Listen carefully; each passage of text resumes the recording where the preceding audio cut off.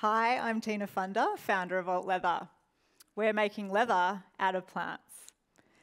Most of you would have heard about the impact that fast fashion and the fashion and textiles industries are having on our planet. But what a lot of people don't realise is that leather is one of the most destructive textiles on earth.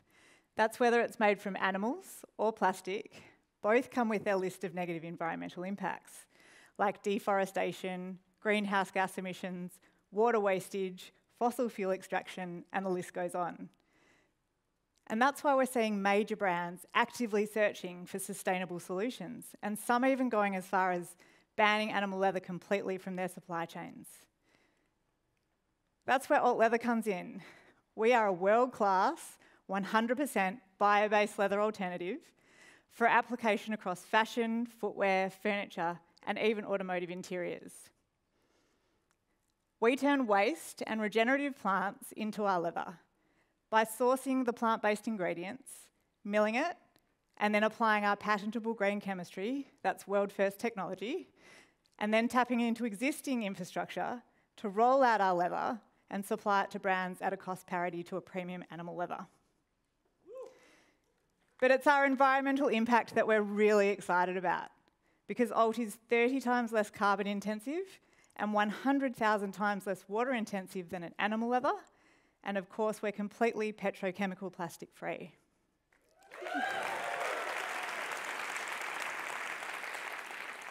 In terms of the opportunity, the animal and synthetic leather uh, wholesale markets are estimated at around $260 billion per annum.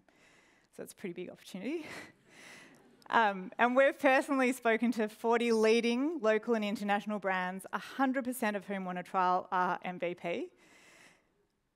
In fact, every single one of them asks us the same question when can we get your material at a size that we can start developing with? And our answer is in the very near future because we've successfully achieved our base material and we'll be in product development with a number of brands by the end of this year.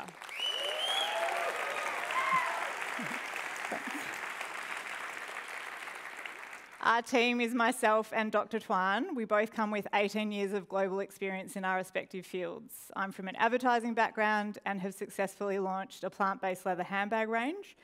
And Dr. Tuan is a material scientist and polymer expert. And we're supported by a fantastic team in the lab. And we're really excited to announce that thanks to the support of the StartMate community, we're currently closing our Seed 1 round as of last week.